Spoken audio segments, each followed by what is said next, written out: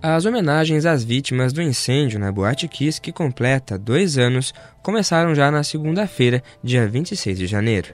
Nos prédios de Santa Maria, laços e fitas brancas faziam parte da paisagem da cidade. Aos poucos, familiares e amigos das vítimas do incêndio chegavam na Praça Saldanha Marinho.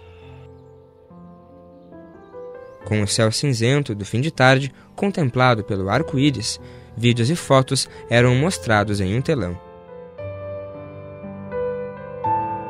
Para os familiares, o momento é uma forma de reconforto. A gente criou uma família depois dessa tragédia. Os pais, a gente se encontra, a gente um entende o outro, um não está cansado de falar do filho que se foi, coisa que às vezes acontece, está acontecendo, que estão cansados de escutar, os pais não. A gente conversa numa boa, a gente na vigília é o lugar que a gente discute, a gente é eu disse é um é de psicólogos e psiquiatras ali. A gente se entende, se tem que chorar, a gente chora, temos que rir, a gente ajuda, mas ajuda muito, porque a gente conversa e não tem. É, cada um luta, lida com luto de uma forma. E a nossa forma é essa. É a gente não, que não cai no esquecimento, a gente lutar por justiça. Por volta das 11 horas da noite, todos se deslocaram até a frente da boate e posicionaram velas no chão, formando um coração. Às duas e meia da madrugada, pais, mães e amigos fizeram uma vigília. Na manhã da terça-feira, dia 27 de janeiro, as homenagens na universidade começaram logo cedo com uma cerimônia religiosa e um ato simbólico em homenagem às vítimas do incêndio.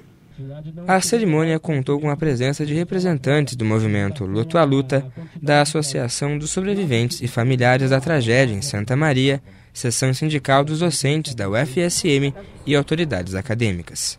O culto religioso ficou a cargo de um capelão militar que levamos o nosso coração até Deus, pedindo que Ele possa vir ao encontro de todos nós que aqui permanecemos a nossa jornada. O reitor Paulo Burman destacou no seu discurso os esforços da universidade para superar a dor.